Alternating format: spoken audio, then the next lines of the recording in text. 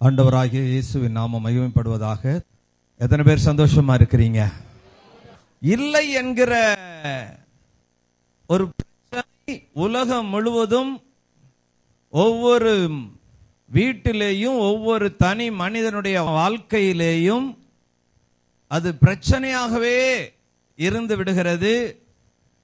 சிலர் இருக்கிற நிலையில் கூட இல்லை என்று சொல்லி வாயிலேயும் செயல்களிலேயும் வெளிப்படுத்தி இருக்கிறது கூட இல்லாம போய்விடுகிறது. உங்க வாழ்க்கையில இந்த மாதத்தில இருந்து நீங்க கேட்கிற சத்தியத்தில இருந்து இல்லை என்கிற நிலையே உங்க வாழ்க்கையிலே இல்லாமல் போக போகிறது. உலகம் முழுவதும் பாருங்க இந்த இல்லை என்கிற காரியம் மக்கள் கண்களிலே பார்க்கிறார்கள் உணர்கிறார்கள். அதை அனுபவிக்கிறாங்க. அதனால பல கஷ்டங்கள் நஷ்டங்கள் பாதிப்புகள் இல்லைன்னு சொல்லி தற்கொலை கூட செஞ்சுக்கிறாங்க குடும்பமாக. ஆனா கர்த்தருக்குள் இல்லை என்கிற நிலை வெளியரங்கமாக அறிவிக்கப்பட்டாலும் நீங்க கர்த்தருக்குள் சரியா இருப்பீர்களேயானால் அந்த இல்லை என்கிற நிலையே இல்லை என்று உலகம் தெரியத்தக்கதாக வெளியரங்கமாக தேவன் உங்க வாழ்க்கையிலே அவருடைய நிறைவை உண்டாக்குவார் என்பதுதான் இந்த மாதத்தினுடைய தேவ செய்தியாக இருக்கிறது. அல்லேலூயா கடந்த வாரத்திலே கர்த்தர் நமக்காக ஒரு காரியம் செய்வார் என்று சொல்லி பாருங்கள் தேசம் முழுவதும் சவுல் ராஜா முதல் இஸ்ரேவேலின் ராஜாவாகிய சவுல் ஆட்சி செய்த இரண்டாவது வருஷத்திலே ஒரு புதிய யுத்தத்தை பெலிஸ்தியரோடு கூட யோனத்தான் தொடங்கி வைக்கிறான். ஆனால் அவனுடைய காதுக்கு வருகிற தகவல் எல்லாம் இல்லை இல்லை இல்லை. யுத்தத்துக்கு தேவையான ஆயுதம் இல்லை ஆயத்தம் இல்லை ஆட்கள் இல்லை இல்லை என்கிற தகவலை தவிர வேற நல்ல தகவல் அவனுக்கு கிடைக்கல. ஆனாலும் அவன் சொன்னான் கர்த்தர் எனக்காக ஒரு காரியம் செய்வார் என்று சொல்லி இல்லை என்கிற ஒரு சூழலிலே இல்லை என்கிற ஒரு நிலைமையிலே ஒரு பெரிய வெற்றியை அவன் அடைந்ததை ஒன்று சாமுவேல் பதிமூணாவது பதினான்காவது அதிகாரத்திலே நாம் போன வாரத்தில் பார்த்தோம். அதுபோல பதினேழாவது அதிகாரத்திலேயும் தாவீது அரசன் அவன் அரசன் அல்ல அப்பொழுது ஆடு மேய்த்துக் கொண்டிருந்தவன் கோலியாத்தை எதிர்ப்பதற்கு தேசத்திலே ஒருவரும் இல்லை என்கிற தகவல் தான் சவுலுக்கு கிடைக்கிறது. ஒருவன் எழும்பி வருகிறான் அவன்தான் தாவீது. அவனும் சரியான சரீர அம்சம் இல்லை என்பதுதான் வெளியரங்கமான அறிக்கையாக இருக்கிறது அவனுக்கு பலமும் இல்லை பயிற்சியும் இல்லை கையில ஆயுதமும் இல்லை. அதே சமயத்துல கோலியாத்தை எதிர்க்க எதுவுமே தடையாக இல்லை. கைதட்டி ஆண்டவருக்கு நன்றி சொல்லுங்க. வெறும் கையாகத்தான் போனான். ஆனால் கோலியாத்தை கோலியாத்தினுடைய பட்டயத்திலேயே வெட்டி அவனுடைய தலையை வாங்கினது மட்டுமல்ல கோலியாத்துக்கு உரிய அனைத்து ஆயுதங்களையும் தன்னுடைய கூடாரத்திலே கொண்டு வந்து சேர்த்தான் என்பதுதான் வெற்றியின் செய்தியாய் இருக்கிறது அதனால இந்த ஆராதனையில அல்லது கர்த்தருக்குள்ளே வந்திருக்கிற உங்க கையில ஒன்னும் இல்லை என்பதுதான் உண்மை என்றாலும் கர்த்தருக்குள் கர்த்தர் மேல் விசுவாசமா இருப்பீர்களேயானால் ஒன்றுமில்லாத இந்த சூழ்நிலையிலேயும் கர்த்தர் எனக்காக ஒரு காரியத்தை செய்வார். நான் கர்த்தருடைய பிள்ளை நான் கர்த்தருக்குள் இருக்கிறேன் நான் கர்த்தரை நம்பி இருக்கிறேன். அவர் ஒரு நாளும் என்னை கைவிட மாட்டார் என்கிற உறுதியான விசுவாசத்திலே இருப்பீர்களே. ஆனால் இல்லை என்பதற்கு ஒரு முடிவை நீங்கள் கட்ட முடியும். இல்லை என்பதே உங்க வாழ்க்கையிலே இல்லை என்று சொல்லத்தக்கதாக ஆண்டவர் மாற்றி விடுவார். அல்லேலூயா. போன வாரத்தில் நம்ம இன்னும் பார்த்தோம். மத்திய பதினாலாவது அதிகாரத்தில் ஐந்து அப்போ ரெண்டு மீன் இவ்வளவுதான் இருக்கு. ஆனா சாப்பிடுறதுக்கு ஆட்கள் ஐயாயிரத்துக்கு அதிகமாக இருக்கிறார்கள். போதுமானது இல்லை என்பதுதான் தகவல். வேறு எங்கிருந்து கிடைக்கும் என்பதும் சந்தேகம். கிடைக்கவும் வாய்ப்பு இல்லை இருப்பதும் திருப்திப்படுத்த முடியாத நிலை இப்படியெல்லாம் இருந்த நிலையில கர்த்தர் என்ன செய்தார்? சரி இல்லை என்று சொல்லி இருந்தவர்களை அனுப்பிவிட்டாரா? வருத்தப்படாதீர்கள். அடுத்த கூட்டத்திற்கு பார்த்து கொள்ளுகிறோம். ஆயத்தம் இல்லாமல் இந்த கூட்டத்தை ஆயத்தப்படுத்தி விட்டோம் ஆகவே நீங்கள் தயவு செய்து வழியில எங்கேயாவது போய் வாங்கி சாப்பிட்டுக் கொள்ளுங்கள். கர்த்தர் உங்களுக்கு உதவி செய்வார் என்று அனுதாப வார்த்தையை சொல்லி அனுப்பினாரா ஆண்டவர்? ஆண்டவர் சொன்னார் இல்லை இல்லை இல்லை என்று சொன்ன அந்த வாயை அந்த மனிதர்கள் அந்த சீடர்களை அப்போஸ்தலர்களை கொண்டே சொன்னார் நீங்களே கொடுங்கள். நீங்க தான் கொடுக்கணும். இல்லை என்று சொல்லுகிற நீங்க தான் கர்த்தருக்கு கொடுக்கணும். இல்லை என்கிற சூழ்நிலையில இருக்கும் போது தான் கர்த்தருக்கு கொடுக்கணும். இல்லைன்னு சொல்லி கர்த்தருக்கு கொடுக்கறத நிறுத்தாதீங்க. இல்லை என்கிற நிலையில கர்த்தர் கையில கொடுக்கும்போது கர்த்தர் என்ன செய்தாராம்? கொடுக்கப்பட்ட அந்த சிறியவன் வயிற்றை நிரப்பக்கூடிய அந்த சிறிய அளவை எடுத்தாராம். எடுத்தார் அதை ஆசீர்வதித்தார்ங்கிற வார்த்தையெல்லாம் போடப்பட்டிருக்கு பாத்தீங்களா அந்த எடுத்தாருங்கிறதுல ரெண்டு அர்த்தம் அர்த்தம். வெளியில மனிதர்கள் காணும்படி அந்த அப்பத்தை எடுத்தார். ஆனா மனிதர் காணக்கூடாதபடி ஒன்றை அதில் எடுத்தார். என்னன்னா இல்லை என்கிற ஒரு அமைப்பு அதுக்குள்ள இருந்தது பார்த்தீங்களா? அந்த இல்லை என்கிற அமைப்பை அவர் எடுத்த உடனே சீஷர்களுக்கு பிட்டு பிட்டு பிட்டு பிட்டு கொடுக்கிறார்கள். இல்லை என்பதே இல்லை. கைதட்டி ஆண்டவருக்கு நன்றி சொல்லுங்கய்யா. அதுதான் உங்க வாழ்க்கையில இருக்க போகிற ஒரு காரியம். அதுதான் சத்தியமா இருக்கிறது. எல்லாரும் சொல்லுங்க. ஒன்றுமில்லா நேரத்தில் எல்லாம் எனக்கு உதவி செய்த கிருபை இது. எல்லாரும் வாய் திறந்து நன்றியோடு பாடுங்க. ஒன்றுமில்லா நேரத்திலெல்லாம் எனக்கு உதவி செய்த கிருபை இது. ஓ! ஒன்றுமில்லா நேரத்திலெல்லாம் எனக்கு உதவி செய்த கிருபை இது. கிருபையே கிருபையே மாறாத நல்ல கிருபையே. கிருபையே கிருபையே.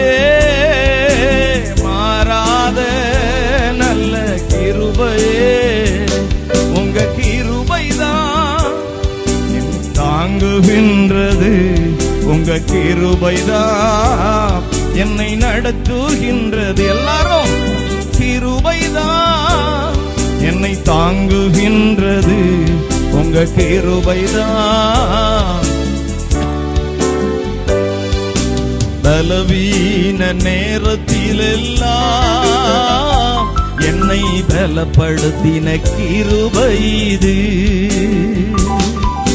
பலவீன நேரத்திலெல்லாம் என்னை பலப்படுத்தின கிருபை இது. கிருபையே கிருபையே மாறாத நல்ல கிருபையே. கிருபையே கிருபையே மாறாத தேவ கிருபையே. என்னை தாங்குகின்றது. உங்க கிருபைதான் என்னை நடத்துகின்றது. உங்க கிருபைதான் என்னை தாங்குகின்றது. உங்க கிருபைதான் என்னை நடத்துகின்றது. கத்தி இருக்கு நெருப்பு இருக்கு விறகு இருக்கு. பலி செலுத்த ஆடு இல்லையே ஆடு இல்லையேன்னு அடிவாரத்திலிருந்தே மலையினுடைய மேல் மட்டும் பலி செலுத்த போகிறது வரையிலையும் இல்லை இல்லை இல்லை என்பது தான் ஈசாக்கினுடைய வாயிலிருந்து பிறந்த வார்த்தை. கவனிங்க ஆனா அங்க இல்லாமல் இருந்ததா? ஆண்டவர் ஈசாக்கின் மேல கைய போடாதன்னு தடை செஞ்சிட்டார். ஆபிரகாம பார்த்து ஆபிரகாமே ஆபிரகாமே பிள்ளையாண்டான் மேல என்ன செய்யாத? கைய போடாத அப்படின்னார். அப்போ பலி செலுத்த என்ன செய்யறது? பலி செலுத்த அங்க ஆடு இருந்துச்சா? இல்லையா. சொல்லுங்க பைபிள் முழுவதும் நான் உங்களுக்கு பிரசங்கம் பண்ண முடியும். எங்கே இல்லை என்று நீங்கள் நினைக்கிறீர்களோ? எங்கே இல்லை என்று உலகம் சொல்லுகிறதோ? எங்கே இல்லை என்று உங்களுக்கு அறிவிப்பு வருகிறதோ? அதே இடத்தில் இருக்கிறது என்று சொல்லி கர்த்தர் காரியங்களை வாய்க்க பண்ண அவர் வல்லமையும் அதிகாரமும் ஜீவனும் உள்ளவருமாய் இருக்கிறார். நீங்க மட்டும் கர்த்தருக்குள்ள இருந்தா போது கர்த்தர் பார்த்துக்குவார்னு சொல்லி கர்த்தர் மேல நீங்க விசுவாசமா இருந்தா போதும். லூயா நாம இல்லைங்கிற தகவல் கிடைச்ச உடனே அந்த இல்லைங்கிறதுல நாம இணைந்து விடுகிறோம். அதுதான் இங்க ஆவிக்குரியவர்களுக்கு இருக்கிற பிரச்சனை. நம்மளை ஆண்டவர் விசேஷமாக வச்சிருக்கிறார். கைதட்டி ஆண்டவருக்கு நன்றி சொல்லுங்க. ஆண்டவர் சொன்னாரு நீங்கள் பறவைகளை பார்க்கலாம் எப்படிப்பட்டவர்கள்? எல்லாரும் என்னோட கூட பேசுங்க. விசேஷமானவர்கள். மனிதன் பறவைகளை பார்க்கிலும் மற்ற ஜீவராசிகளை பார்க்கிலும் விசேஷமானவன். அதை விட விசேஷமானவர்கள் யாருன்னா இயேசுவின் இரத்தத்தினாலே மீட்கப்பட்டு சொந்தமாக்கி கொண்ட மக்கள். சொந்த கர்த்தர் தமக்கு சொந்த சம்பத்தாக்கி கொண்டாரே. நீங்களும் நானும் நம்ம வந்து ரொம்ப ரொம்ப ரொம்ப ரொம்ப விசேஷமானவர்கள் அப்படின்னா உங்க காரியம் எல்லாமே விசேஷமா இருக்கும் அதனால உங்கள் விசுவாசமும் ஆண்டவர் மேலே விசேஷமாக தான் இருக்கணும். எப்படி இருக்கணும்? உலகத்தார் மாதிரி. இல்லைன்னு சொல்ல உடனே அழக்கூடாது. இல்லைன்னு சொன்ன உடனே கலங்கிடக்கூடாது இல்லைன்னு சொன்ன உடனே நம்ம வித்தியாசமாக யோசிக்கக்கூடாது. இல்லைன்னு சொல்கிற இடத்திலே இருக்கிறது. சொல்லுங்க லாசரு செத்து நாலு நாள் ஆயிடுச்சு. ஆனால் ஆண்டவருக்கு அதை பற்றி கவலையே கிடையாது. கவலைப்பட்டதெல்லாம் யாருன்னா சகோதரிகள் தான் சகோதரிகள் தான் அழுதுகிட்டே இருக்கிறாங்க. ஐயோ இல்லையே இல்லையே என் சகோதரன் இல்லையே இல்லையே இல்லையே. என்ன சொல்றாங்க? ஏசு வந்த பிறகு கூட சொல்றாங்க நீங்க இங்க இருந்திருந்தா என் சகோதரனும் இங்க இருந்திருப்பான். இப்ப அவ இல்லையே இல்லையே இருக்கிறது இருக்குன்னு சொல்றதுக்கு அந்த வீட்டில் யாருக்குமே துணிச்சல் வரல. பாருங்க இனி லாசரு கிடைப்பானா அப்படி அப்படிங்கிற ஒரு நம்பிக்கையே இல்லை. அந்த கிடைக்கும்னு சொல்றதுக்கு ஒரு ஆள் கூட இல்லை. அதனாலதான் ஆண்டவர் அங்க கல்லறையில கண்ணீர் விட்டு அழுதாராம் நாம நான் உயிரோட இருக்கிறேன். நான் அவரே மார்த்தாள்கிட்ட சொல்றாரு நானே உயிர்த்தெழுதலும் ஜீவனுமாய் இருக்கிறேன். என்னை விசுவாசிக்கிறவன் மறித்தாலும் பிழைப்பான். மறியாமல் என்னோ என்னை விசுவாசிக்கிறவன் மறியாமலும் இருப்பான். இதை விட என்ன விளக்கமா சொல்லணும் விவரமா சொல்லணும்? இதை தெரிஞ்சும் கூட கல்லை எடுத்து போடுங்க அப்படின்னு சொன்ன சமயத்துல இந்த வசனத்தை கேட்டதான மார்த்தால் தான் சொன்னான் நாலு நாளாச்சே நாருமே அப்படின்னா. அப்ப பாருங்க வசனம் வேலை செய்யல பாருங்க. அது தூக்கம் கிடையாது. எப்போ அப்படி வருதோ உங்க தொடைய நல்ல நல்ல நறுக்குன்னு ஒரு கிள்ளு கிள்ளணும் ஏன்னா ஆண்டவருடைய வசனத்தை மயக்கத்துல கேட்டா கடைசியில நம்ம வாயே என்னதான் சொல்லும் தெரியுமா? நாருமே அப்படின்னு தான் சொல்லும். ஆண்டவர் வாய் என்ன சொன்னுச்சு? இல்ல உயிர் வரும். உயிர் இல்லைன்னு சொல்லாத. நான் தான் உயிர்ப்பிக்கிற தேவன். என்னை விசுவாசித்தால் போதும். கர்த்தர் நமக்காக ஒரு காரியம் செய்வார். இது சொல்ல வேண்டியது யாருன்னா கர்த்தருக்குள்ள இருக்கிறவர்கள். அதனால உங்க வாழ்க்கையில இல்லை என்பதற்காக கவலைப்படாதீர்கள். உங்களுக்கு உரியது எல்லாம் உங்க கையில இல்லாட்டினாலும் உரியவருடைய கையிலே இருக்கிறது. சொல்லுங்க அவர் கையில் இருக்குதையா? அந்த சின்ன பிள்ளைகள்லாம் ஊருக்கு போகும்போது பார்த்துருக்கிறீங்களா? சின்ன சின்ன பிள்ளைகளுக்கெல்லாம் ஊருக்கு போகும்போது மாமா ஒரு நூறுரூவா கொடுப்பாரு பாட்டி ஒரு ஐம்பது ரூபா கொடுக்கும். இப்படி வரிசையாக எல்லாம் வாங்கி வாங்கி வாங்கி வாங்கி அடிக்கி அடிக்கி அடிக்கி பஸ்ஸுக்கிட்ட வந்தோன்னேம்மா நீ வச்சுக்க அப்படின்னு கொடுத்துரும் பாருங்க. எல்லாம் மொத்தம் வீட்டுக்கு வந்தோன்னே கணக்கு கேட்கும். நானும் முந்நூற்றம்பது ரூபா உன்கிட்ட கொடுத்தேன் அப்படிங்கும். அந்த மாதிரி தான் பாருங்க உங்க கையில இருந்தா நீங்க அங்க இங்கேயும் ஓடிடுவீங்கன்னு சொல்லி அப்பப்ப ஆண்டவர் அந்தந்த தேவைகளை அந்தந்த நேரத்தில் கொடுக்கிறார். அதனாலதான் ஆண்டவர் இயேசு மலை பிரசங்கத்தினுடைய முடிவா சொன்னார். நாளைய தினத்துக்காக நீங்க என்ன செய்யாதீங்க? கவலைப்படாதீங்க. நாளைய தினத்துக்குரியது அந்தந்த நாளுக்குரியது அதது அதது நடக்கும். சொல்லுங்கய்யா நீங்க கவலைப்படுறதுனால உங்க சரீரத்தில் ஒரு முளத்தை கூட்ட முடியுமா? ஒரு முளத்தை குறைக்க முடியுமா? சொல்லுங்க எல்லாரும். கவலையினாலே முழம் கூடுவதுண்டோ? விசாரத்தினாலே பொருள் அசைவதும் உண்டோ கவலையினாலே முழம் கூடுவதுண்டோ? விசாரத்தினாலே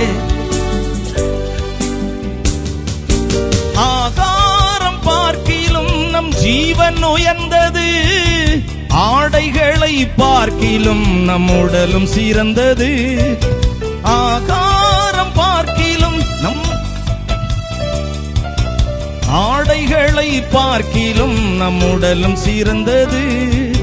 ஆடைகளை பார்க்கிலும் நம் உடலும் சிறந்தது.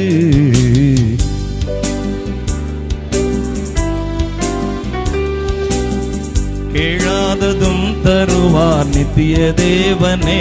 எல்லாரும் சொல்லுங்க. கெட்டதை எல்லாம் தருவாரே சுராஜனே கேளாததும் தருவார் நித்திய தேவனே. அமைக்கி குலுக்கி மடியில் சரிந்து விழும்படி தருவார். அமைக்கி குலுக்கி மடியில் சரிந்து விழும்படி தருவார்.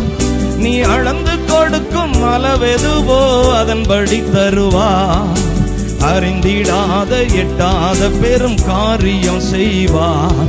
நீ அறிந்திடாத எட்டாத பெரும் காரியம் செய்வார். கெட்டதையெல்லாம் தருவாரே சுராஜனே கேளாததும் தருவார். சொல்லு. கெட்டதையெல்லாம் தருவாரே சுராஜனே கேளாததும் தருவார் நித்திய தேவனே. வேதாகமத்தினுடைய முதல் பக்கத்திலேயே இல்லை என்கிற முகவுரையில் தான் துவங்குகிறது. போன வாரத்தில் நம்ம பார்த்தோம் இல்லையா? ஆதியிலே தேவன் வானத்தையும் பூமியையும் சிருஷ்டித்தார். ரெண்டாவது வசனம் எப்படி இருக்குது? ஆதியாகமம் முதலாவது அதிகாரம் ரெண்டாவது வசனம். பூமியிலே ஒழுங்கு இல்லை பூமியிலே நிறைவு இல்லை. ஆனா அது எப்படி இந்த முழு பூமியும் ஒழுங்கு இல்லாம தான் இருந்தது நிறைவு இல்லாம தான் இருந்தது. எப்படி ஒழுங்கானது எப்படி நிறைவு வந்தது அப்படின்னா ரெண்டாவது வசனத்திலேயே இருக்குது. ஆழத்தில் இருந்த ஆவியானவர். அது சொல்லுங்க. ஆழத்தில் இருந்த இருளை அகற்ற ஆவியானவர் அங்கே அசைவாடி கொண்டிருந்தாராம். அடுத்து மூணாவது வசனம் எப்படி இருக்கு?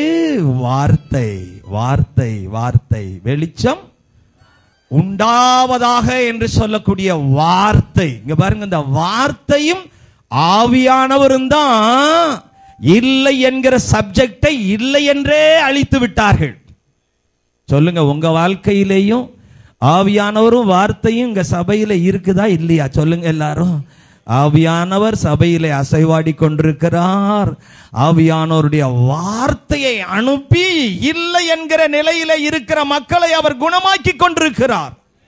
சொல்லுங்க யார் யார் இல்லைங்கிறாங்களோ யார் யார் இல்லை என்று அழுது கொண்டிருக்கிறார்களோ என எனக்கு இனிமே எதிர்காலமே இல்லை என்று சொல்லி யார் வெக்ஸாயி ஆலயத்தில் வந்திருக்கிறாங்களோ வந்து போறாங்களோ அவங்களுக்கு நேர வார்த்தையை அனுப்பி வெளிச்சம் உண்டாவதாக என்ன உடனே இருள் தனியா விளைகிறது வெளிச்சம் அவங்க வாழ்க்கையில உண்டாயிருது ஐயா கைதட்டி ஆண்டவருக்கு நன்றி சொல்லுங்க ஐயா பாருங்க காணிக்கை போட்டுட்டு ஆராதனையில எழுந்திருச்சு போயிடக்கூடாது. பக்கத்துல இருக்கிறவங்கள பார்த்து சொல்லுங்க. காணிக்கை போட்டுட்டு ஆராதனை முடிஞ்ச உடனே சரி கர்த்தரை நம்ம நல்லா ஆராதிச்சிட்டோம். ஒரு மணி நேரம் கர்த்தருக்கு கொடுத்துட்டு நம்ம நடைய கட்டுவோம்னு போகக்கூடாது.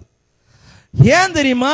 இல்லை என்கிற சப்ஜெக்டை மாற்றுகிறது செய்தி நேரத்தில் தான் உண்டாவதாக அப்படின்னு சொல்லும் போது உண்டாகிறது. கைதட்டி ஆண்டவருக்கு நன்றி சொல்லுங்கள். அல்லேலூயா.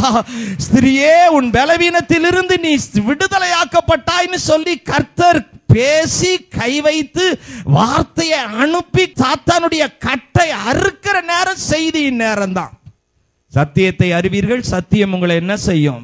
விடுதலையாக்கும் அதனால செய்தி நேரத்தில் எந்திரிச்சு போகாதீங்கய்யா செய்தியின் நேரம் தான் ஜீவனை உண்டாக்குகிற நேரம். உலர்ந்த எலும்புகளே உயிரடையுங்கள்னு ஆண்டவர் வார்த்தையை அனுப்பி ஆவியாயும் ஜீவனுமாயும் இருக்கிற வார்த்தையை அனுப்பி உயிர்ப்பிக்கிற நேரம். நான் தொடர்ந்து உங்களோடு பேச போகிறேன். கவனிங்க இல்லை என்கிற மக்கள் கவனமா செய்தியை கேளுங்க.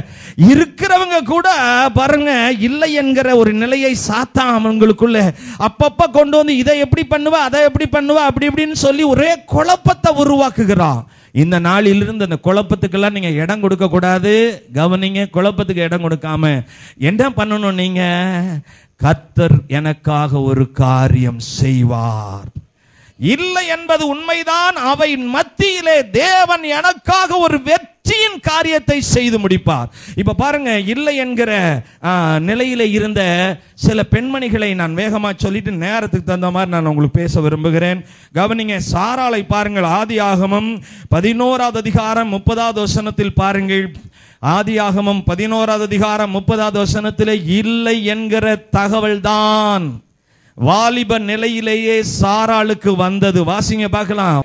சாராய்க்கு பிள்ளை இல்லை. அதுதான். மலடின்னா என்னன்னா இனிமே குழந்தை பெற்றுக்கொள்ள முடியாது. அதுக்கு வாய்ப்பு இல்லை என்று சொல்லி டாக்டர்ஸ் வந்து சர்டிபிகேட் பண்ணிட்டாங்கன்னா ஆமா கர்ப்பத்தில் குழப்பம் இருக்கு கர்ப்ப குழாயில குழப்பம் இருக்கு அப்படி இப்படின்னு சொல்லி அவங்க கண்டுபிடிச்சி பாருங்க அந்த காலத்திலே இப்படியெல்லாம் இருந்திருக்கு பாருங்க மருத்துவம்.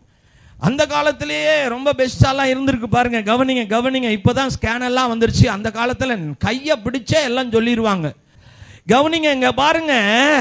என்ன அறிக்கை? ஆபிரகாமுக்கும் அவன் மனைவி சாராளுக்கும் வருகிறது. இல்லை. உனக்கு குழந்தை இல்லை. இங்க இருக்கிறவங்களும் கூட யார் யார் அந்த மாதிரி நினைச்சிட்டு இருக்கிறீங்களோ அவங்களுக்கு தான் இந்த நாளில் பாருங்க. இந்த இவங்களுக்கு குழந்தை இல்லை அப்படிங்கிறது உங்க குடும்பம் இனிமே முன்னேறவே முன்னேறாது. அந்த மாதிரி எந்த இதுல நீங்க வந்து இனிமே இல்லை அப்படின்னு சொல்லி நினைக்கிறாங்களோ அவங்க எல்லாருமே இன்றைக்கு கேட்கிற அந்த செய்தியை உங்களுக்கு ஏற்ற ந- நிலையில நீங்க எடுத்துக்கொள்ளும்படி நான் உங்களுக்கு சொல்லுகிறேன். உலகம் அறிவித்தது என்னன்னா சாளுக்கு இனிமேல். என்ன இல்லை? குழந்தை இல்லை. அதே நிலையிலே அவள் கர்த்தருக்குள் வருகிறாள் பன்னெண்டாவது அதிகாரத்திலே. ஆதியாகமம் பன்னெண்டாவது அதிகாரத்திலே. கர்த்தருக்குள் வரும்போது கர்த்தர் கர்த்தருடைய வார்த்தையிலே ஆபிரகாமோடு அவள் இணைந்து குடும்பமாக கர்த்தர் நடத்துகிற அந்த நடத்துதலிலே அவர்கள் தங்களை அர்ப்பணிக்கிற வேலையிலே இல்லை என்பது ஒரு பக்கம் உண்மையாயிருந்தாலும் தேவனுடைய வார்த்தை அல்லது அவளுடைய கர்ப்பத்திலே கர்த்தர் எதை பார்த்தார் என்று சொல்லி பதினேழாவது அதிகாரம் பதினைந்து பதினாறாவது வசனத்தில் பார்க்கிறோம். டாக்டர் சொன்ன மாதிரி மற்றவங்க சொன்ன மாதிரி இல்லைன்னு சொல்லி கர்த்தரும் சொன்னாரா? ஆமாமா உனக்கு கொஞ்சம் கோளாறு இருக்கு குழப்பம் இருக்கு. ஆமா உன் புருஷனும் சரியில்லை. அப்படின்னு ஏதாவது கர்த்தர் சொன்னாரா? என்ன கர்த்தர் சொல்றத பாருங்க. இப்ப டாக்டர் சொல்றதை விட கர்த்தர் சொல்றது பெரிய காரியம். ஆ வாசிங்க பார்க்கலாம். இங்க பாருங்க உலகம் இல்லைன்னு சொல்லி முடிச்சாச்சு. அவள் மலடின்னு சொல்லி முடிச்சிட்டார்.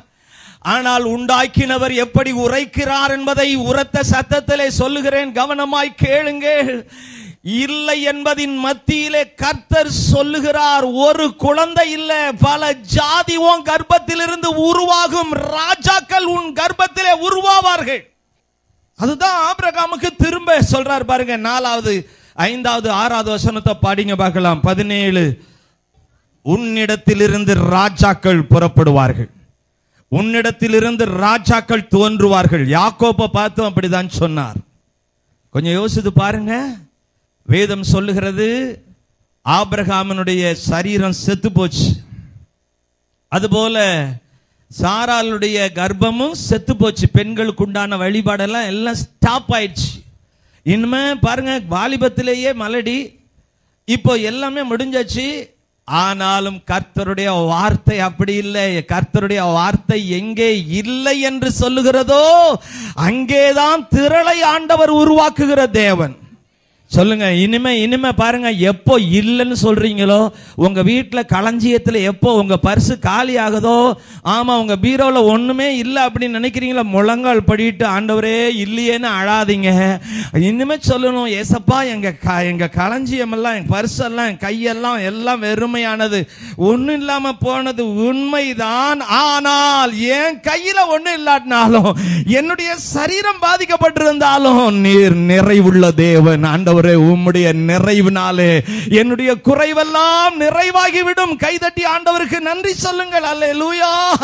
இங்க பாருங்க சாராளுக்கு ஒரு குழந்தை கிடைச்சா போதும். அதுலயே ஒரு பெரிய சந்தோஷம் வந்துடும் பாருங்க. ஆனா அப்படி ஆண்டவர் சந்தோஷப்படுத்தல. கர்த்தர் பாருங்க ஒரு குழந்தையே இல்லை. இவ குழந்தை இல்லை ஆபிரகாமும் அந்த நிலைதான். குழந்தை இல்லை குழந்தை கிடைக்காதுங்கிற நிலையிலே கர்த்தர் அந்த கர்ப்பத்தை பார்க்கிறார். இல்லை என்கிற இடத்திலே ஆமா ராஜாக்கள் உருவாகத்தக்கதாக. அந்த கர்ப்பத்திலே அந்த சந்ததியிலே அந்த இரத்தத்திலே ராஜாக்கள் உருவாகத்தக்கதாக கர்த்தர் வாக்குரைக்கிறார். நம்பவே முடியல. அல்லேலூயா பாருங்க ஆபிரகாமின் சந்ததியில தான் தாவீது சாலமோன் போன்ற பிரபல்யமான ராஜாக்கள் உருவானாங்க. கைதட்டி ஆண்டவருக்கு நன்றி சொல்லுங்கய்யா. ஆமா ஒன்றுமில்லாத உங்க உங்க வாழ்க்கையிலே பிரபல்யங்கள் அல்லது நீங்களே பிரபல்யமாக கர்த்தருக்குள் வாய்ப்பு இருக்கிறது. கர்த்தருக்குள்ள இருங்க. எதுல இருங்க? ஆமா லெஃப்ட் ரைட் ஓடக்கூடாது. இல்லைன்னு சொல்லி அப்படி ஒரு வாக்கு இப்படி ஒரு வாக்கு. இந்த நகோமி என்ன பண்ணா தெரியுங்களா? ரூத்து புஸ்தகத்தில். நகோமி பாருங்க பெத்லஹேமில் இருந்தவள். அதுதான் அவன் சொந்த ஊர். பெத்லஹேம் என்றாலே என்னன்னா அப்பத்தின் வீடு அப்படின்னு அர்த்தம். எல்லா ஜனங்களும் பஞ்சம் வந்த சமயத்திலையும் எப்படியும் கர்த்தர் தங்களுக்கு உதவி செய்வார்னு எல்லாரும் அந்த பஞ்சத்திலையும் தாக்கு பிடிச்சிட்டு இருக்கிறாங்க. அரிசி சாப்பாட்டுக்கு பதிலாக கோதுமைக்கு பதிலாக மற்றதெல்லாம் எதையோ ஒன்று சாப்பிட்டு சரி எப்படியும் கர்த்தர் நமக்கு தருவார்னு இருக்கிறாங்க. ஆனால் இந்த புத்திசாலி பொண்ணு என்ன பண்ணா? ரன் தன்னுடைய புருஷனையும் இரண்டு வாலிப ம- ம- மக்களையும் அழைச்சிக்கிட்டு பையங்களை அழைச்சிக்கிட்டு எங்கே போகிறா போகக்கூடாத இடத்துக்கு போனா. எங்கே போனா? அது என்ன இடம்? மோவாப். மோவாப்னா அது தாறுமாறா பிறந்தது. அந்த இடத்து பிழைக்கிறதுக்காக அந்த இடத்துக்காக போறது. பாருங்க நிறைய ஆளுங்க கிறிஸ்தவங்க மந்திரவாதி கிட்ட போறாங்க. நிறைய பேர் கிறிஸ்தவங்க ஜோசியம் பார்க்க போறாங்க. நிறைய கிறிஸ்தவர்கள் என்ன செய்யறாங்க? கல்யாணத்துக்கு பொருத்தம் பார்க்கறதுக்கு ஜாதகாரன்ட்ட போறாங்க. இந்த கல்யாணம் எல்லாம் சபிக்கப்பட்டு போயிடும் ஆமா ரெண்டு ராஜாக்கள் முதலாவது அதிகாரத்தில் பாருங்க எளியா ஒரு ராஜா ராஜாவை தான் கடிந்து கொள்றான். அவன் மகன் பிழைப்பானா என்னன்னு சொல்லி யாருக்கிட்ட விசாரிக்க போறான்? மந்திரவாதி கிட்ட விசாரிக்க போறான். எலியா கிட்ட ஆண்டவர் சொன்னாரு நீ போய் அவன் அந்த ராஜா இப்படி போறான் பாதியா அவன்கிட்ட போய் சொல்லு. இஸ்ரவேலிலே தேவன் இல்லை என்று சொல்லியா? பாகால் கிட்ட நீ விசாரிக்க போற. நீ அப்படி போனதுனால பிழைக்க வேண்டிய உன்னுடைய மகன் என்ன செய்வான்? சாகவே சாவான். கவனிங்க வாழ்க்கையை கட்டுவது கர்த்தர். ஆமா உங்க குழந்தைய ஆளாக்கினவர் கருவில் தாங்கினவர் ஆளாக்கினவர் புஷ்பவதியாக பண்ணினவர். இல்லையா ஒரு திருமண வாய்ப்பை ஏற்படுத்தினவர். நிச்சயம் அவங்க வாழ்க்கையினுடைய அனைத்து தேவைகளையும் சந்திக்க ஆதரிக்க ஆசீர்வதிக்க அவர் உண்மையுள்ளவராய் இருக்கிறார். அதனால இதுக்காக பொருத்தம் பார்க்க வேண்டிய அவசியம் இல்லை ஜாதக நட்சத்திரம் பார்க்க வேண்டிய அவசியம் இல்லை. அந்த மாதிரி காரியத்தை நீங்க செஞ்சு சாபத்துக்குள்ள ஆயிடக்கூடாது ஹalleluya சொல்லுங்க. ஐயா நான் ஒரு கோபத்துல பேசல. சத்தியத்தை சத்தியமா உண்மையா சொல்லுகிறேன். கல்ல கல்லுன்னு தான் சொல்லி ஆகணும். மண்ணுன்னு சொல்ல முடியாது. சொல்றான்னா அவன் மாய்மாலக்காரன். உங்களுக்கு பிரியமா நான் பேசி உங்ககிட்ட எனக்கு பரிசே தேவை கிடையாது. எனக்கு ஜீவனை ஆண்டவர் ஏன் கொடுத்திருக்கிறார்னா உள்ளத உள்ளதுன்னு சொல்றதுக்கு தான் ஆமா நீங்க இந்த பூமியிலையும் ஆசீர்வாதமா இருக்கணும் சாட்சியா இருக்கணும். ஒன்றுமில்லாத குடும்பம். இப்ப எப்படி இவ்வளவு தலைஞ்சு வந்திருக்குதுன்னு சொல்லி உலகத்துக்கு நீங்க சாட்சியா இருந்தீங்கன்னா உங்க மூலமா பத்து பேர் ரட்சிக்கப்பட வாய்ப்பு இருக்கிறது. அதுக்காகத்தான் ஆண்டவர் உங்களை ஆசீர்வதிக்கிறார். அப்போ நான் உங்களுக்கு சரியா சத்தியத்தை சொல்லணும். கைதட்டி ஆண்டவருக்கு நன்றி சொல்லுங்க. ஆகையினால கவனிங்க குழந்தை இல்லைன்னு டாக்டர் சொன்னாலும் சரி யார் சொன்னாலும் சரி உங்க கர்ப்பத்தில் கையை வச்சு சொல்லுங்க. ஆண்டவரே உலகம் அப்படி சொன்னாலும் என்னுடைய கர்ப்பத்தில் நீங்க பல குழந்தைகளை பார்க்கிறீங்க. அதற்காக கத்தருக்கு சோத்திரம்னு சொல்லுங்க. அல்லேலூயா ஆமா ஆகமம் இருபத்தி ஒன்பதாவது அதிகாரம் முப்பத்தி ஓராவது ராகேலை பாருங்கள். யாக்கோப்பினுடைய நேச மனைவி அவளுக்கும் இதே கதை தான் சாராளுடைய கதை தான் வசனத்தை எடுத்து பாருங்க. இருபத்தொன்பது முப்பத்தி ஒன்று ராகேலுக்கு குழந்தை கிடைக்காது. இந்த மலடின்னு பைபிளில் எங்கெங்க போட்டிருக்குதோ இது டாக்டர் சர்டிபிகேட். குழந்தை கிடைக்காது. குழந்தை இல்லை அவளுக்கு. குழந்தை பாக்கியமே இல்லை. அவ்வளவுதான். ஆனால் ஆனால் என்ன நடந்தது? இவன் வந்து போராடிக்கிட்டு இருக்கிறா குழந்தை இல்லை. இந்த இல்லைன்ன உடனே ஆளுகளுக்கு வெறி பிடிச்சிருது பாருங்க. தெரியுமா உங்களுக்கு? இல்லைன்னு வெறி பிடிச்சிரும். சிலர் சொல்லுவாங்க வீட்டில் எல்லாம் இருந்துச்சுன்னா பசிக்காது. ஆனால் இல்லை அப்படிங்கிற நிலை வந்துச்சுன்னா ரொம்ப பசி எடுக்குது. அப்படிங்குவாங்க பாருங்கள் அந்த மாதிரி தான் பாருங்க இவளுக்கு இல்லைன்னு டாக்டர் சொல்லிட்டாங்க. ஆனா அக்காவை பார்த்தா லேயால பார்த்தா வருஷத்துக்கு ஒண்ணு மடமட மடமடன்னு அது ஆம்பளையா வந்துட்டு இருக்குது கருத்தருக்கு சோத்திரம். இவளுக்கு ரொம்ப வெறியாகி போகுது வேதனை ஆகி போகுது. அவ பாத்தீங்கன்னா அக்கா தன்னுடைய சகோதரி தான் உடன் பிறந்த சகோதரி தான். ஆனா தனக்கு இல்லைங்கிற வேகத்தை தீர்த்து கொள்ள அவளோடு போராடுகிறாள். புருஷனோடு சண்டை போடுறா. புருஷன் எப்படி சண்டை போடுறா? அவளுக்கு மட்டும் குழந்தை குழந்தைய கொடுக்குறியே? எனக்கு ஏன் குழந்தை இல்லை? எனக்கு ஏன் குழந்தை இல்லை? எனக்கு ஏன்? இந்த பாருங்க. தேவையில்லாத போராட்டத்தை எல்லாம் அகற்றணும். போன வாரத்தில் நான் சொன்னேன் பார்த்தீங்களா இந்த தேவையில்லாத மோதலை எல்லாம் சாத்தான் கொண்டு வருவான். தாவீது கோலியாத்தை எதிர்த்து மோத போகிறான். கோலியாத்தை ஜெயிப்பதுதான் அவனுடைய கோல். அதன் மூலமா தான் ராஜ்யத்தை காப்பாற்ற முடியும். இல்லைன்னா பெலிஸ்தியர்களுக்கு அவங்கெல்லாம் அடிமையாயிருவாங்க. அந்த யுத்தத்திலே அந்த யுத்த காரியத்திலே இவன் மும்மரமா இருக்கும்போது சாத்தா வந்து தன்னுடைய சகோதரன் எளியாப்பு அவன் மூலமா வந்து என்ன சொல்றான் தாவீத? கண்ணா பின்னான்னு திட்டுறான் பாருங்க. என்ன திட்டுறான்? நீ என்ன யுத்தத்தை பார்க்க வந்திருக்கிறியா? வேடிக்கை பார்க்க வந்திருக்கிறியா? அந்த கொஞ்சம் ஆட்டை எங்க விட்டுட்டு வந்த? நீ இப்படிப்பட்டவனே எனக்கு தெரியும் உங்க ஆங்காரம் எனக்கு. இதுக்கெல்லாம் பதில் சொல்லணுமா? சொல்ல வேண்டாமா? இந்த இந்த இந்த பிரச்சனைக்கு இவன் தீர்வு காண போயிருந்தான்னு வைங்களேன் கோலியாத்தை ஜெயிச்சிருக்க முடியாது. நிலைமையே மாறி இருக்கும். ஆகையினால இவன் பாருங்க அங்க சுருக்கமா பேசுறான். நான் இங்க வந்ததுக்கு முகாந்தாரம் இல்லையா அப்படின்னு மட்டும் சொல்லிட்டு அந்த இடத்த விட்டு காலி பண்ணி வேற பக்கம் போயிடுறான். உங்கள் மனைவி உங்கள் மேலே சண்டைக்கு வந்தாலும் உங்கள் புருஷன் சண்டைக்கு வந்தாலும் உங்கள் பெரு சகோதரர்கள் பிள்ளைகளோ பெரியவங்களோ மற்றவங்களோ குடும்பத்தார் யாரும் உங்கள் மேலே வந்து பயங்கரமாக பிரச்சனை பண்ணும்போது மோதலை தவிர்த்து விடுங்கள். நாம் யாரோட மோதணும்? ஆமா மாமிசத்தோடும் ரத்தத்தோடும் அல்ல அதிகாரங்களோடும் துறைத்தனங்களோடும் வான மண்டலங்களில் உள்ள பொல்லாத ஆவிகளின் சேனைகளோடு நமக்கு நாங்கள் மாமிசத்திலே நடக்கிறவர்களாய் இருந்தாலும் எங்கள் போராயுதங்கள் மாமிசத்துக்கு ஏற்றவைகளாய் இராமல் அரண்களை நிர்மூலமாக்க தேவ பலமுள்ளவையாய் இருக்கிறது. மனிதர்கள் யாரும் நமக்கு எதிராளி கிடையாது. சொல்லுங்க கண்ணில் பார்க்குற யாருமே நமக்கு எதிராளி கிடையாது. உங்கள் எதிராளியாகிய சாத்தான்னு வேதம் சொல்லுது பாருங்க அவனுக்கு எதிராகத்தான் நாம் தேவ வல்லமையை தரித்து கொண்டு எழும்ப வேண்டும். சாத்தான் பாருங்க திசை திருப்பி விடுகிறவன். அவன் தந்திரசாலி மகா தந்திரசாலி. என்ன தந்திரசாலி? ஆமா எப்படியாவது உங்களை கவிழ்த்து விடணும். எப்படியாவது உங்களை கவிழ்த்து விடணும். யோசேப்பினுடைய தரிசனத்தை தவிடுபொடியாக்க போர்த்திபார் வீட்டில் ஒரு தந்திர காரியம் செய்யறான் பாருங்க. போர்த்திபார் வீட்டில் என்ன காரியம் செஞ்சான்? போர்த்திபாருடைய மனைவியை தூண்டி போய் அவன்கிட்ட நைஸா பேசு. ஜாலியா பேசு. கையை பிடிச்சு பேசு. அவனை கட்டி பிடிச்சு பேசு. இவ அப்படியே செய்வா. இவ ஒரு பெரிய பணக்காரி. அவன் ஒரு விலைக்கு வாங்கப்பட்ட அடிமை.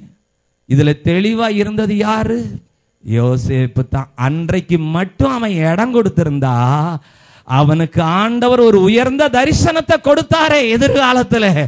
சூரியனும் சந்திரனும் அவனை வணங்கி நின்றதுன்னு சொன்னாரே. அந்த நிலை மாறி இருக்கும். அதனால தான் தெளிந்த புத்த புத்தி உள்ளவர்களாக இருங்கள் வாலிபர்களே எப்படி இருங்க? வாலிப பிள்ளைகளே உங்களுடைய எதிர்காலம் பிரகாசமாக இருக்கணும் அதை தடை செய்கிறதற்கு சாத்தான் பல சூழலை உங்களுக்கு அமைத்து கொடுப்பான். ஜாக்கிரதை. இந்த சத்தியத்தெல்லாம் உங்கள் மைண்டில் அப்படியே பொண்ணு எழுத்தில் அப்படியே பதியணும். அப்படி இருந்தால் உங்கள் வாழ்க்கை எதிர்காலத்தில் பிரகாசமாக இருக்கும் அல்ல சொல்லுங்கள் இங்க பாருங்க ராகேலுக்கு குழந்தை இல்லைன்னு சொல்லி புருஷனோட சகோதரோட மோதிட்டு இருக்கிறா. ஆனா எந்த எந்த கர்ப்பம் மலட்டு கர்ப்பம் என்று உலகம் அறிவித்ததோ அந்த கர்ப்பத்தில் தான் யோசேப்பு பிறக்க போகிறான் என்பது அவளுக்கு அறியாத ஒரு பேருண்மையாயிருந்தது ஆமா இவளுக்கு இந்த போராட்டத்தை எல்லாம் நிறுத்திட்டு இப்ப நான் சொல்ற சத்தியத்தை மாதிரி அவ விசுவாசித்து என்ன அவ ஜோமன் இருக்கணும் சாராளுக்கும் இப்படித்தான் இருந்தது என்னுடைய முற்பிதா. சாராளுக்கும் ஆபிரகாமனுடைய மனைவி சாராளுடைய கதை இதுதான். சாராளுடைய கர்ப்பத்திலே ராஜாக்களை உதிக்க பண்ணின தேவன் அந்த தேவனை தான் நான் அண்டிக் கொண்டிருக்கிறேன். அவர் தான் என்னை வழி நடத்தி கொண்டிருக்கிறார். அந்த கர்ப்பத்திலே செத்து போன அந்த கர்ப்பத்திலே குழந்தையை கொடுத்த ஆண்டவர் இன்றைக்கும் அவர் உயிரோடு இருக்கிறார். ஆபிரகாமுக்கு இந்த கல்லுகளினாலே குழந்தையை உண்டு பண்ண அவர் வல்லவராய் இருக்கிறார் என்று சொல்லி மத்திய மூன்று ஒன்பதிலே யோவான் ஸ்நானகன் தீர்க்க தரிசனமா சொன்னான் ஐயா கல்லு போதும் அவருக்கு. சொல்லுங்க. குழந்தையை உருவாக்குவதற்கு ஜீவனை உண்டாக்குவதற்கு கைதட்டி அவருக்கு மயமை செலுத்துங்க. அலுலோயா அன்னாலும் அப்படித்தான். ஒன்று சாமுவேல் முதலாவது அதிகாரம் ரெண்டாவது வசனத்திலே அன்னாளுடைய காரியம் உங்களுக்கு எல்லாருக்கும் தெரியலையா பல பிரசங்கத்தில் கேட்டிருக்கிறோம். அவளும் இப்படித்தான். ராகேல் மாதிரி அழுதுகிட்டே இருக்கிறா. ஏன்னா கூட குழந்தை இல்லைன்னு ஒருத்திய கல்யாணம் பண்ணானே புருஷன் எல்கானா. அது ஒரு பெரிய முள்ளாய் மாறிடுச்சு. எப்போதும் அண்ணால வேதனைப்படுத்திக்கிட்டே இருந்தது. அவளுக்கு தெரியாது. அவளுடையும் அவளும் பாருங்க குழந்தை இல்லாத மலடின்னு தான் போட்டிருக்குது. எப்படி இருக்கு? அவளுக்கு அன்னாளுக்கோ என்ன கிடையாது? பிள்ளை இல்லை. அவள் மலடியா இருந்தால் அல்லேலூயா. குழந்தைக்கு இல்லைன்னு சொன்ன உடனே பாருங்க குழந்தைக்காக திருமணம் பண்ணின அவ வரிசையா குழந்தையை பெற்றெடுக்கிறாள். இவள் அழுது கொண்டிருக்கிறாள். அந்த ராகேல் செய்த மாதிரியே தான் போராடுறா. இவளும் கூட சாரால் ஆபிரகாமனுடைய காரியத்தை தியானித்திருந்தால் நிச்சயம் காரியம் வெற்றியாய் முடிந்திருக்கும். கவனிங்க கவனிங்க. கேட்குற சத்தியத்தை உங்கள் வீட்டில் போய் யார் யார் இல்லைங்கிறீங்களோ அவங்க எல்லாம் இல்லைங்கிற நிலையில தேவன் எனக்கு நிச்சயம் உண்டாக்குவார் உருவாக்குவார் ஆசீர்வதிப்பார் பெருக பண்ணுவார் பெரியதை தருவார். அவர் இல்லை என்று சொல்வதே இல்லை. சொல்லுங்க எல்லாரும். நாகூர் அனிபா ஒரு பாட்டு பாடினார் தெரியுமா? எப்படி? இறைவனிடம் கையேந்துங்கள். அவர் இல்லை என்று சொல்லுவதில்லை. பொறுமையுடன் கேட்டு பாருங்கள். என்னடா பாஸ்ட் இப்படி மாறிட்டாருன்னு நினைக்கிறீங்களா? பொக்கிஷத்தை மூடுவதில்லை. சொல்லுங்க இது நம்ம வரியதான் அவர் சேர்த்து பாடி இருக்கிறாரு நம்ம பாருங்க மனுஷர்கிட்ட போய் இல்லைங்கிறதுக்காக மனுஷர்கிட்ட போய் சண்டை போடுறது மனுஷர்கிட்ட போய் போராடுறது அண்ணாலும் இப்படித்தானே சண்டை போட்டுட்டு இருந்தா? என்ன சண்டை போட்டுட்டு இருந்தா? புருஷன்ட்ட சண்டை போடுறா. புருஷன் எவ்வளவோ சமாதானப்படுத்துறான். அண்ணாலே நான் உன்னை எவ்வளவு நேசிக்கிறேன். உனக்கு ரெண்டு மடங்கு கொடுக்கிறேன். பத்து குமாரரை பார்க்கிலும் நான் உனக்கு ஆ, அதிகம் அல்லவா? உனக்கு குழந்தை தான் பெருசா. நானே உனக்கு குழந்தையா? உன்னோடு கூட கொஞ்சி விளையாடுறேனே. பத்தாதா? எதுவுமே அவளை சமாதானப்படுத்த முடியல. பாருங்க இறுதியிலே தான் அவன் முடிவெடுக்கிறா எங்க மாற்றப்படுகிறது? சொல்லுங்க. கர்த்தருடைய சமூகத்தில் தான். ஹலே லூயா ஹலே லூயா ஹலே லூயா இவ பாருங்க உலகம் சொன்னது அவளுடைய கர்ப்பத்திலே குழந்தை இல்லை குழந்தை பெற வாய்ப்பு இல்லை என்று சொல்லி அதே ஒன்று சாமுவேல் ரெண்டாவது அதிகாரம் இருபத்தி ஓராவது வசனத்தில் பாருங்க. எங்கே இல்லை என்று சொன்னதோ அந்த கர்ப்பத்திலே தேவன் எத்தனை குழந்தைகளை உதிக்க பண்ணினார் என்கிற விவரம் அங்கே இருக்கிறது பாருங்க. ஐயா மலடி அவள் குழந்தை பெற முடியுமா? எப்படி இப்படி மாறினது? அதுதான் நம்ம கர்த்தருக்குள் இருக்கும்போது கர்த்தர் மேல் விசுவாசமா இருக்கும்போது இல்லை என்கிற சூழ்நிலையிலே நாம் கர்த்தர் எனக்காக இல்லை என்கிற சூழ்நிலையில ஒரு காரியம் செய்வார் என்று சொல்லி அவர் மேல் விசுவாசமா இருக்கும்போது இல்லை என்பதே இல்லை. எல்லாம் வந்து விடுகிறது. எத்தனை குழந்தை இருக்கு? கணக்கு சொல்லுங்க மூன்று குமாரர் ஆமா சாமுவேலோட சேர்த்தா நாலு குமாரர் அப்புறம் இரண்டு குமாரத்திகள் மொத்தம் ஆறு குழந்தைகள். இல்லை என்கிற கர்ப்பத்திலே தேவன் உருவாக்கினார். அதுலேயும் முத முத பிறந்த சாமுவேல். ஆமா அவ்வளவு பெரிய அற்புத மனிதனாக மாறுகிறான். சாமுவேல் யாரு? சாதாரண தீர்க்கதரிசி கிடையாது. ஆமா சாதாரண தீர்க்கதரிசி கிடையாது. ஒன்று சாமுவேல் ஒன்பதாவது அதிகாரம் ஆறாவது வசனத்தை பாருங்கள். சாமுவேலை குறித்து இஸ்ரவேலிலே உண்டான சாட்சியை பாருங்கள். இந்த பட்டணத்திலே ஒரு மனுஷர் இருக்கிறார். அவர் பெரியவர் அவர் தேவனுடைய மனுஷன். அவர் பெரியவர் அவர் சொல்லுவதெல்லாம் தப்பாமல் நடக்கும். இதுதான் அவரை குறித்த பெரிய சாட்சி. ஞான திருஷ்டிக்காரன். பாருங்க இந்த சாமுவேல் தான் ரெண்டு ராஜா. சவுலையும் தாவிதையும் அபிஷேகம் பண்ணினவன். கிங் மேக்கர் பாருங்க குழந்தை இல்லை மலடி என்ற கர்ப்பத்திலே இப்படி ஒரு அற்புதமான ஒரு மனிதன் இருப்பதை அன்னால் அறியாதவளாக இருந்தாள் யார் யார் இல்லை என்று நினைத்துக் கொண்டிருக்கிறீர்களோ உங்களுக்கு தான் தேவனுடைய வார்த்தை அதிகாரத்தோடும் அபிஷேகத்தோடு வருகிறது. அல்லேலூயா! எங்கே இல்லை என்று நினைக்கிறீர்களோ அங்கேதான் விலை மதிக்க முடியாத உயர்ந்த அற்புதங்கள் பொக்கிஷங்கள் ஆசீர்வாதங்களை தேவன் உள்ளடக்குகிறார். நீங்க செய்ய வேண்டியது எல்லாம் ஆண்டவருடைய சமூகத்தில். நீங்க இப்ப கேட்கிற வார்த்தைகளை சொல்லி சொல்லி சொல்லி சொல்லி ஜோம் பண்ணுங்க. அல்லேலூயா செத்து போன சாராளுடைய கர்ப்பத்திலே நீ ராஜாக்களை உதிக்க பண்ணினது உண்மையானால் ஆமாண்டவரே ராஜா ராகேலுடைய மலட்டு கர்ப்பத்திலே ஒரு அற்புதமான தேவ மனிதன் ஆளுகிறவன் யோசேப்பை நீர் உதிக்க பண்ணினது உண்மையானால் மலட்டு கர்ப்பம் என்று சொன்னதான அண்ணாளுடைய கர்ப்பத்திலே ஆறு குழந்தைகளை உதிக்க பண்ணினது. அதுவும் அற்புத தீர்க்கதரிசி. அஹ், சாமுவேலை உதிக்க பண்ணினது உண்மையானால்.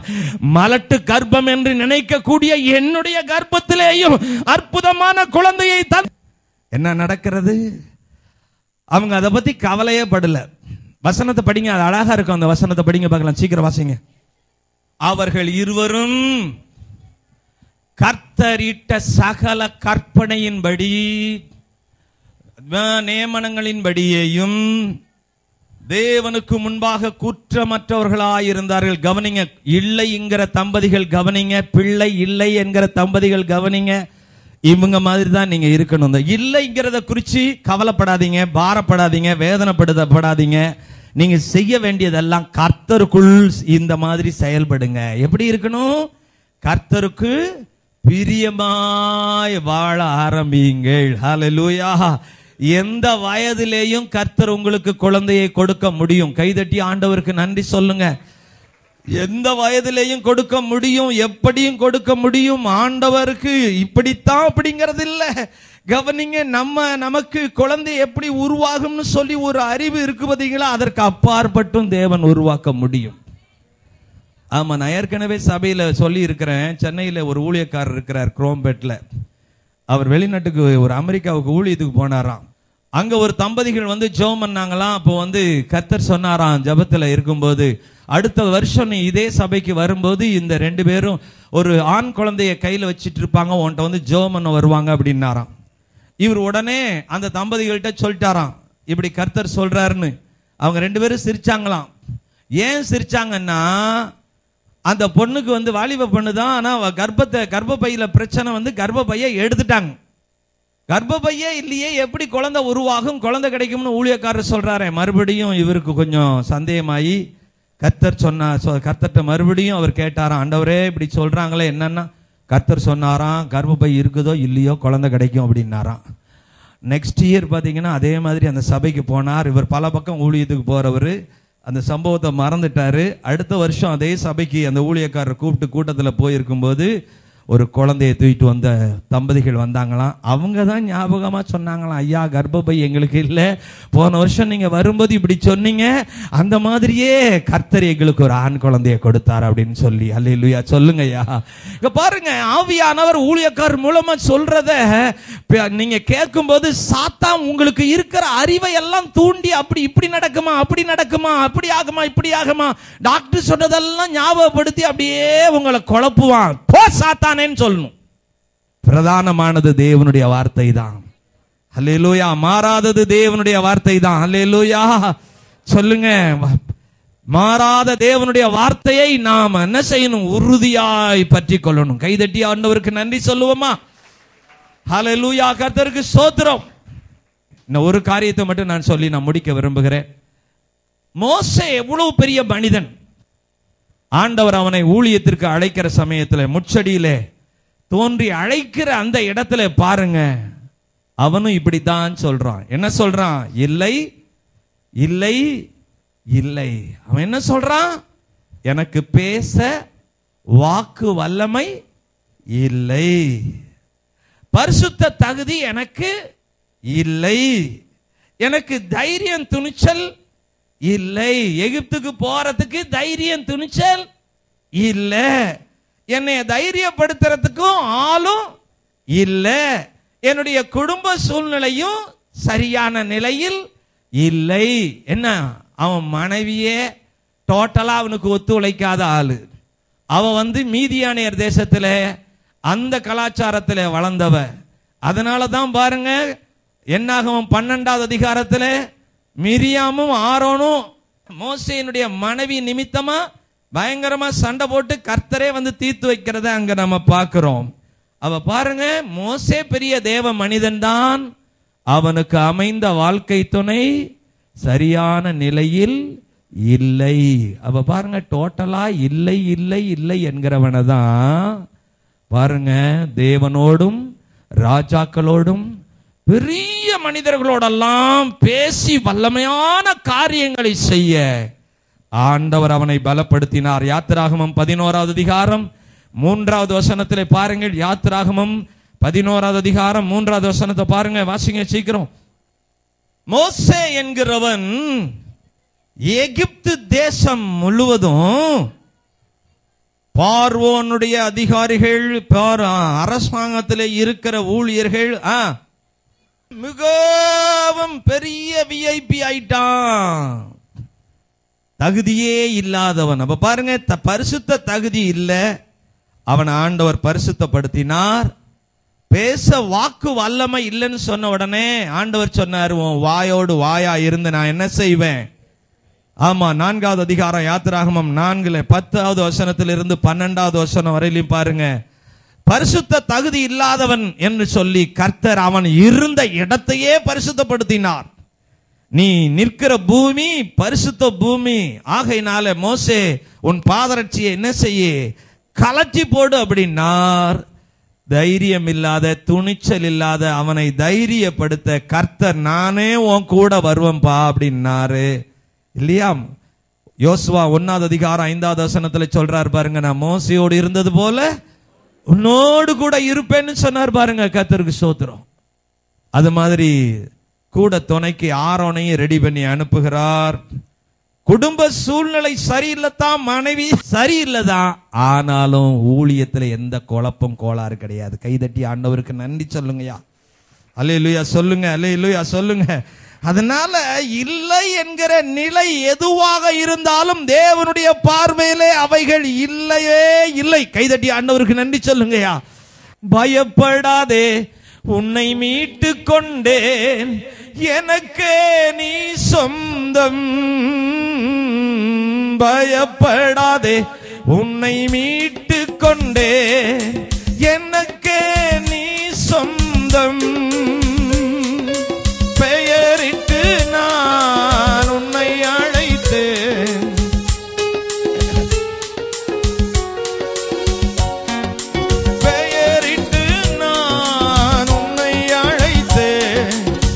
எனக்கே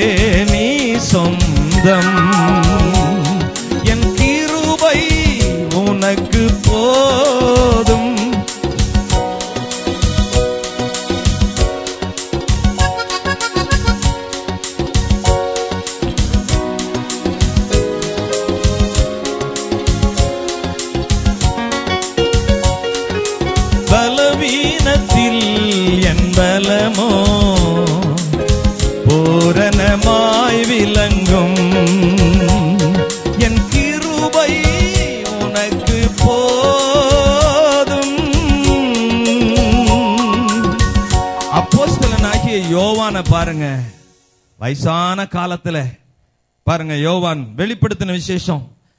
முதலாவது அதிகாரம் ஒன்பதாவது பத்தாவது வசனத்தை பாருங்க. கவனிங்க யோவான் அவன் தான் கடைசியா கடைசி அப்போஸ்தலன். எல்லாரும் கத்தருக்கு இரத்த சாட்சியா மறிச்சாங்க ஆனா இந்த யோவான் ஒரு ஆளு தான் இயற்கை மரணமா இறந்தது. அவர் தான் சின்ன வயசு கடைசியா இறந்தார். பாருங்க அவரை வந்து என்ன பண்றாங்க? என்ன கோப்பரைக்குள்ள இப்போ தூக்கி போடுறாங்க? சாகணும்னு சொல்லி. சாவு வரல. அதனால நாடு கடத்திடுறாங்க. எங்க அனுப்பிடுறாங்க? பத்மு தீவு என்கிற ஒரு தீவுக்கு. எப்படி அந்த காலத்துல அந்தமானுக்கு அனுப்புனாங்களோ அந்த மாதிரி ஆளே இல்லாத இடத்துக்கு அனுப்பிட்டாங்க. இப்ப கர்த்தருடைய நாள். கர்த்தருடைய நாள் அப்படின்னு பத்தாவது வசனத்தில் இருக்கிறவங்க கர்த்தருடைய நாள்னா எது தெரியுமா? ஞாயிற்றுக்கிழமை தான் கர்த்தருடைய நாள். சொல்லுங்க பழைய ஏற்பாட்டில் சனிக்கிழமை ஓய்வு நாள். ஓய்வு நாள் புதிய ஏற்பாட்டில் கிடையாது. அது இஸ்ரேவேல் ஜனங்களுக்குன்னு சொன்ன பிரமாணம். புதிய ஏற்பாட்டில் கர்த்தருடைய சபை கூடி வர்ற நாள் கர்த்தருடைய நாள். இங்க பாருங்க கர்த்தருக்கு சொந்தமானதை நீங்க எடுத்து உங்களுக்கு சொந்தமா எடுத்துக்க கூடாது. எது எது கர்த்தருக்கு சொந்தமா இருக்கோ அதெல்லாம் உங்களுக்கு எடுத்துக்க கூடாது. அது பணமானாலும் சரி நாளானாலும் சரி வேற எதுவானாலும் சரி எது எது கர்த்தருக்கு கர்த்தருடையது அப்படின்னு இருக்குதோ அதை நீங்க எடுத்துக்கிட்டீங்கன்னா திருடுறதுக்கு சமம். என் பேனாவை நீங்க எடுத்துக்கிட்டீங்கன்னா என்ன அர்த்தம்? திருங்க திருடிட்டீங்கன்னு தான் அர்த்தம். ஆமா அந்த மாதிரி கர்த்தருக்குரியதை ஒரு நாள் நாம எடுக்கக்கூடாது. இப்போ இப்ப பாருங்க ஞாயிற்றுக்கிழமை கர்த்தருடைய நாள். அன்னைக்கு பொண்ணு பார்க்க போகக்கூடாது சாப்பாடு செஞ்சு போடக்கூடாது சுண்ணாம்பு அடிக்க கூடாது சேர்த்து வச்ச துணியெல்லாம் துவைக்க கூடாது சொந்த பந்தத்தை போய் பார்த்துட்டு வந்துடக்கூடாது கல்யாணத்துக்கு போகக்கூடாது எதுவுமே பண்ணக்கூடாது. ஆராதனை முடிச்சிட்டு ஆண்டவருக்கு செலுத்த வேண்டிய மகிமையெல்லாம் செலுத்திட்டு தான் போகணும். கர்த்தருடைய நாள். இங்க பாருங்க கர்த்தருடைய நாள். இவன் பாருங்க ஆண்டவருக்குள்ளே அவன் சீஷனாக அப்போஸ்தலனாக மாறின பிறகு சபைகளுக்கெல்லாம் தலைவனாக பிஷப்பாக இருந்து அவன் என்ன செய்கிறான்? பல சபைகள் பல போதகர்கள் எல்லாருக்கும் ஆலோசனை சொல்லி அவன் வழி நடத்தினவன் இப்ப தனியா போயிட்டான். பத்மு தீவில கர்த்தரை ஆராதிக்க வேண்டிய நாள். அங்கே பார்த்தா ஆள் இல்லை ஆலயம் இல்லை சபை இல்லை எந்த அமைப்பும் இல்லை. ஆமா நகரம் கிடையாது வாகனம் கிடையாது பிரசங்கம் என்ற ஆள் கிடையாது சாட்சி சொல்ற ஆள் கிடையாது காணிக்க தசமமாக கொடுக்கிற ஆள் கிடையாது. இல்லை இல்லை இல்லை. எல்லாம் டோட்டலா இல்லை. இவன் தனி நபராகத்தான் இருக்கிறான். அப்ப அவன் என்ன பண்ணான் தெரியுமா? ஐயோ என் கதி இப்படி ஆயிப்போச்சே அப்படின்னு சொல்லி அழுதுகிட்டு உட்காந்துருக்குல்ல ஐயோ ஆண்டவரை பின்பற்றி எனக்கு இப்படி ஆயிப்போச்சே. கடைசி காலத்தில் முடியாத காலத்தில் இப்படி என் நிலைமை ஆயிப்போச்சேன்னு சொல்லி அவன் அழல கர்த்தருடைய நாளிலே அவன் என்ன செஞ்சான்? அவன் கர்த்தரை ஆராதிக்க துதித்து பாடி ஆவியிலே நிரம்பி ஆராதிக்க எட்டு மணியா? சரி எட்டுல இருந்து பதினோரு மணி பத்தரை மணியா? சரி அது வரையில என்ன செய்யறோம்? நம்ம தனியா இருந்தாலும் நம்ம ஆவியில ஆராதனை சபையில இருக்கிற மாதிரியே ஆராதிப்போம்னு சொல்லி ஆராதிக்க ஆரம்பிச்சா பாத்தீங்களா? ஆவியில நிரம்பினா இந்த இல்லை என்கிற நிலையே எல்லாம் மாறி போச்சு. இல்லை என்கிற நிலையே மாறி போச்சு. என்னென்ன இல்லைங்கிறது? ஆள் இல்லைன்னு இருந்துச்சு. ஒரு ஆள் கூட இல்லை கண்ணுக்கு. ஆனா பரலோக தேவதூதர்கள் அந்த கூட்டத்தெல்லாம் அவன் பார்க்கறான். இந்த மாமிச கண்ணுல ஒரு ஆளும் தெரியல. ஆனா அவன் ஆவிக்குள்ளே மாறி ஆவிக்குரிய கண்ணுல என்னத்த பார்க்கறான்? விதவிதமான தேவதூதர்களை பார்க்கறான். ஆண்டவர் இயேசுவை பார்க்கறான். பார்த்து செத்தவனை மாதிரி விழுந்து கிடக்கிறான். அவனை ஆண்டவர் தொட்டு அவனை பலப்படுத்தி பயப்படாதே. நான் முந்தினவரும் பிந்தினவருமாய் இருக்கிறேன். மறித்தேன் ஆனாலும் சதா காலங்களிலும் உயிரோடு இருக்கிறேன். மரணத்திற்கும் பாதாளத்துக்குரிய திறவுகோலை இப்ப பாருங்க பிரசங்கம் பண்றதுக்கே ஆள் வந்துட்டார். ஆண்டவரே வந்துட்டார். கைதட்டி ஆண்டவருக்கு நன்றி சொல்லுங்க ஐயா. இல்ல இல்ல இல்ல இல்லைங்கிற இடத்துல பாருங்க இப்போ அவன் பெரிய பட்டணத்துல இல்ல. பட்டணத்துல இருந்தவன். இப்போ எங்க இருக்கிறான்? பத்மு தீவுல அனாதையா இருக்கிறான். பாருங்க பூமியில இருக்கிற நகரத்தை பார்க்கல ஆனா பரலோக பரிசுத்த நகரத்தை அவன் பார்க்கிறான். ஆமா சபையை அவன் பார்க்கல. சபை இல்ல அவன் இருந்த இடத்துல. ஆமா இல்ல யாரும் உருவாக்கவும் முடியாது. ஆனால் ஏழு சபைகளுக்கும் அவன் ஆலோசனையை பெற்றுக்கொண்டான். ஆவியானவருடைய ஆலோசனையை அவன் பெற்றுக்கொண்டாயா ஏழு சபை. ரெண்டாவது அதிகாரம் மூணாவது அதிகாரத்தை பாருங்க. வெளிப்படுத்தின விசேஷம் ரெண்டு மூணு. அதுபோல பாருங்க பூமியிலே ஆலயத்தை பார்க்கல சபையை பார்க்கல. ஏன்? அவன் தனியா இருக்கிறான். சபை இல்லை ஆலயம் இல்லை. நாலாவது அதிகாரத்தின் முதலாவது வசனம் அதாவது நாலாவது அதிகாரம் முதல் வசனத்திலே இருந்து பதினோராவது வசனம் வரையிலும் பார்த்தீங்கன்னா பரலோகத்தில் இருக்கிற அந்த ஆவிக்குரிய ஆலயத்தை அவன் ஆவியின் கண்களினாலே அவன் பார்க்கறான். பூமியில ஆலயத்தை பார்க்க முடியல. ஆனா என்ன செய்யறான் பரலோக ஆலயத்தை பார்க்கறான். அல்லேலூயா சொல்லுங்க. லூயா சொல்லுங்க எல்லாரும் அல்லையிலே சொல்லுங்க. இவன் பாருங்க எதுக்கு நாடு கடத்தப்பட்டான் தெரியுமா? இவன் வாழ்க்கை அதோட அங்க முடியணும். அங்கே சாப்பாடு கிடைக்காது எந்த ஆதரவும் இருக்காது எந்த ஒத்தாசையும் இருக்காது. அவன் அப்படியே இல்லாமல் அழிஞ்சு போகணும்னு தான். அவன் முடிந்து போவதற்காகத்தான் சூழ்நிலை ஏற்படுத்தப்பட்டது தண்டனை அனும அனுமதிக்கப்பட்டது. ஆனால் அவன் முடிந்து போகவில்லை. உலக முடிவை அவன்தான் அறிவித்தான். ஆமா அவன் முடிஞ்சு போகல. இந்த உலகம் எப்படி முடியும்னு சொல்லி அந்த முடிவை அங்க எங்கே இல்லை என்று சொல்லி நினைத்தானோ அங்கதான் அந்த உலக முடிவே வெளிப்படுகிறது. எல்லாரும் எழுந்து நிக்கலாமா? கவனிங்க ஏதோ கதை கேட்குற மாதிரி கேட்டு போயிடக்கூடாது. ஒரு தீர்மானத்தோட நீங்க எல்லாம் எழுந்து போகணும். ஆமா யார் யார் எந்தெந்த காரியத்திலே இல்லை என்று உணர்கிறீர்களோ அந்த இல்லை என்பதை எடுத்து போடுவதற்காகத்தான் ஆவியானவர் இவ்வளவு உறுதியாக உங்களோடு பேசிக் கொண்டிருக்கிறார்.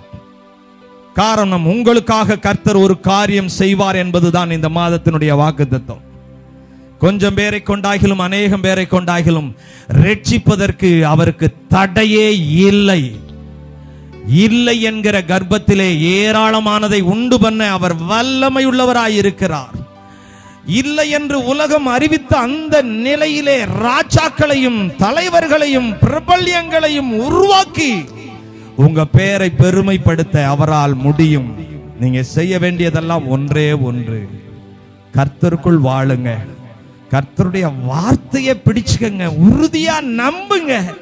டாக்டர் சொன்னதை விட மற்றவங்க சொன்னதை விட உங்க அறிவுக்கு உங்க காதுக்கு வருகிற தகவலை விட கர்த்தருடைய வார்த்தை மேலானது. அது ஜீவன் உள்ளது அது உயிர்ப்பிக்க கூடியது உலர்ந்த எலும்புகளுக்கும் உயிரை கொடுத்தது. ஆமென்.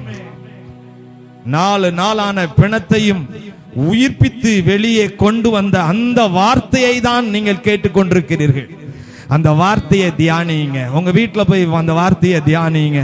ரொம்ப வார்த்தையிலே சுகம் வார்த்தையிலே மதுரம் உம் வார்த்தையிலே எல்லாம் சந்தோஷம். உம் வார்த்தையிலே எல்லாம் சந்தோஷம். ஒரு வார்த்தை சொல்லும் கத்தாவே எங்கள் வாழ்க்கை எல்லாம் செழிப்பாகுமே.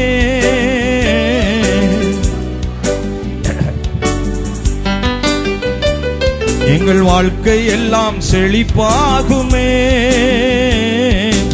ஒரு வார்த்தை சொல்லும் கத்தாவே.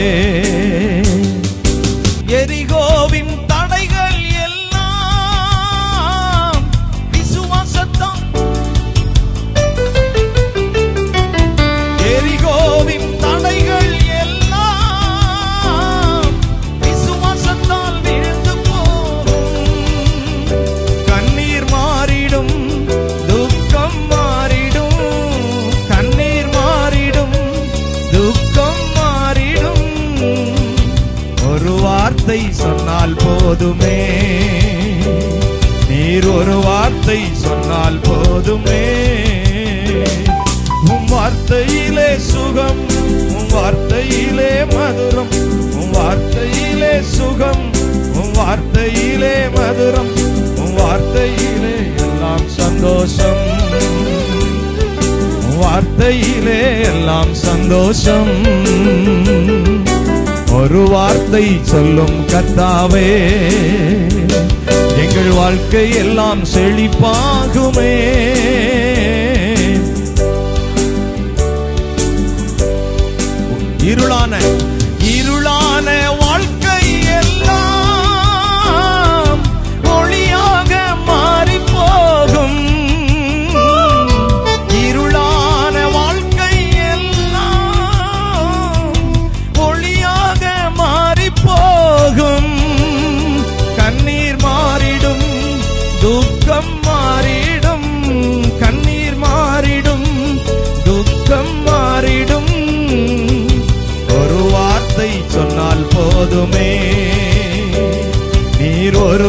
வார்த்தை சொன்னால் போதுமே.